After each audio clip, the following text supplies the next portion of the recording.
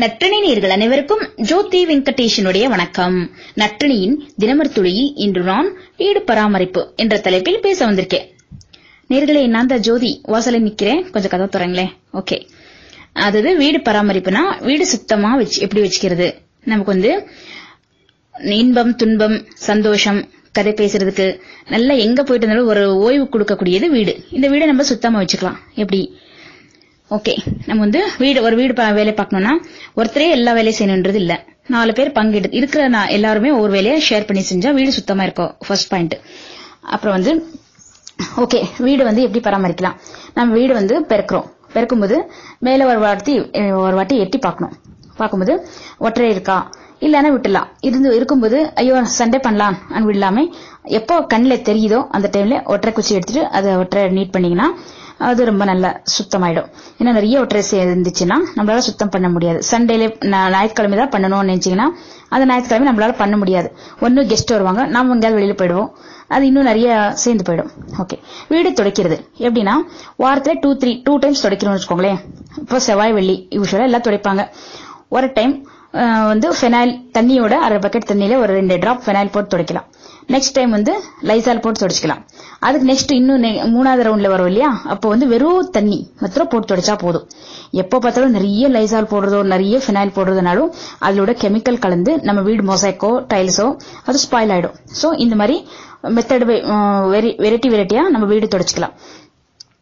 அதே மாதிரி வீடு ஜன்னல்கள் கம்பிகள் லைட்ஸ் லைட்டையும் சுத்தம் பண்ணணும் கண்டிப்பா. வீக்லி ஒன்ஸ் சண்டே தான் இல்லாம சாட்டர்டே சண்டே இல்லாம நமக்கு எப்போ கண்ணில் அழுக்குப்படுதோ அது வந்து உடனே மறக்காம பண்ணிடணும். அது நல்லா இருக்கும். அப்புறம் ஜன்னல்கள் வீக்லி ஒன்ஸ் கண்டிப்பா ஒரு சோப் வாட்டர்ல நினைச்சு தண்ணிய துணிய ஜன்னல் எல்லாம் துடைக்கணும். ஓகே வீட்ல நிறைய பேர் நிறைய பர்னிச்சர்ஸ் வச்சிருப்பாங்க. வீடு சின்னதா இருந்தாலும் தேவையில்லாத அளவுக்கு ஃபர்னிச்சர்ஸ் இருக்கும். முடிஞ்சால் அது தவிக்கலாம். அது நமக்கு என்ன தேவையோ அதை வச்சுக்கலாம். அப்படி இல்ல எனக்கு இதுதான் வேணும். அண்ட் வச்சுக்கிட்டு வச்சுக்கிட்டு வச்சுக்கிறவங்க அதை வந்து அப்படி அந்த சோஃபா செட்லயோ அதுல எல்லாம் காக்ரோச் போகாம காக்ரோச்சோ புழு பள்ளி எறும்பெல்லாம் போகாம அடிக்கடி அதை உதறி சுத்தம் பண்ணணும்.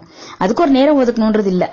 உட்காரும்போது நிக்க அதை ப- ப- பார்த்த உடனே அதை எடுத்து உதறினாலே போதும் சுத்தமாயிடும்.